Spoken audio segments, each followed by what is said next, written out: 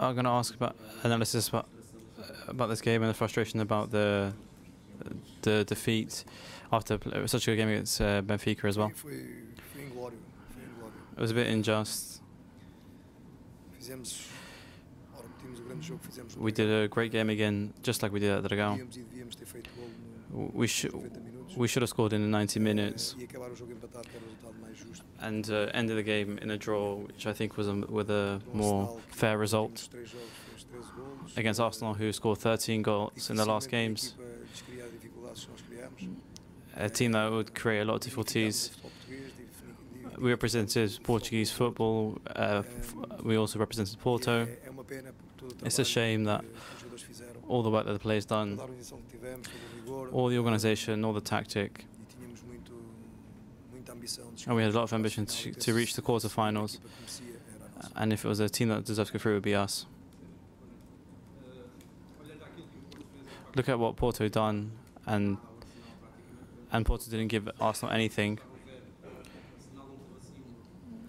Arsenal didn't really have a clear cut chance before the, they scored. How can you transform that frustration? And on either side, I mean, can you also explain at the end what happened between you and Arteta at the end? That's not really important.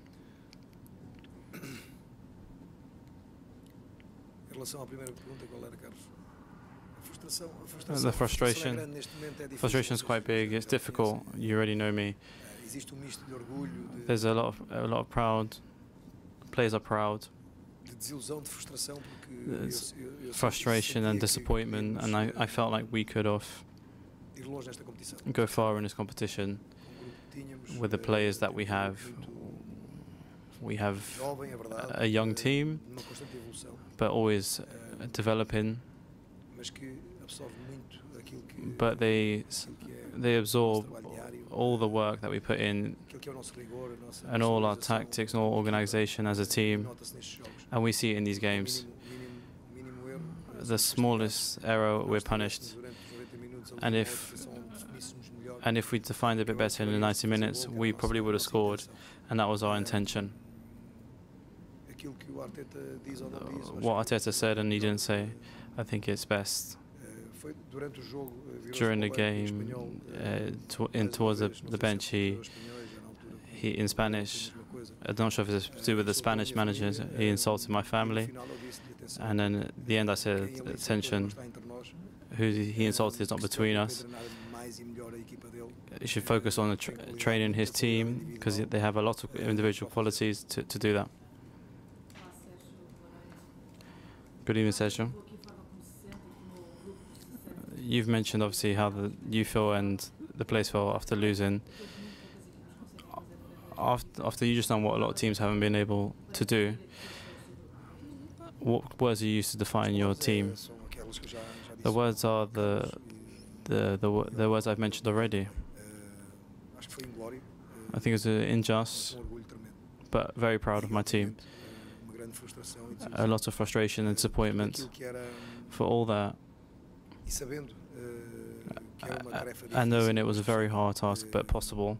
Uma palavra também, já agora, A word to all the fans estavam em grande número, who were there eh, sinceramente, o grandíssimo clube que nós and were showing how big, how big eh, Porto are and how historical they are. potências nesta- nesta competição, que é só The one that has the most presence in the competition, de todos os and it's just the biggest competition in the world.